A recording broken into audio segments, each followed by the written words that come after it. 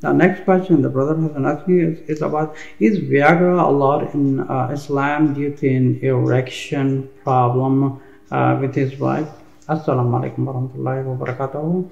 Uh, if there's a dysfunction of uh, um, erection with your wife and yes you can use the Viagra but I would uh, more recommend to rather than using the Viagra and using the medications and all that. It's better to use uh, using like a homeopathic um, like an um, herbal things which would help in your health. Like for example uh, you could use some like good fruits for vegetables like um, there's a many foods I've been giving on youtube and you will be researching on a google you will be able to find it how to maintain ourselves uh, that will be sexually fit and you don't need to go into the medication. Because by going into the medication we have to understand something. But using a medication for some like a temporary time it might have a lot of uh, more uh, side effects than the good effect. Because maybe the good effect is for just like a little bit time. But what what if like for long term uh, for the big effects it, it, it might be uh,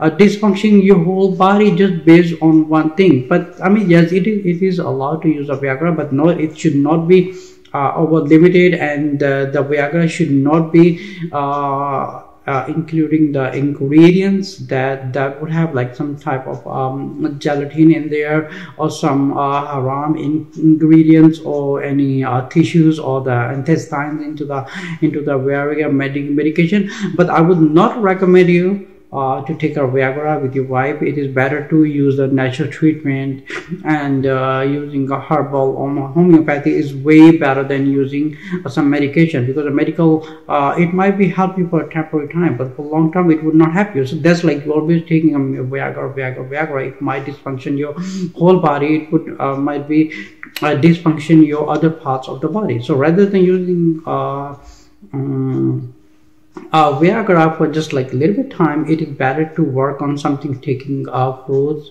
like uh, the vegetables or the things that would help you uh, to main your to maintain your relationship with your wife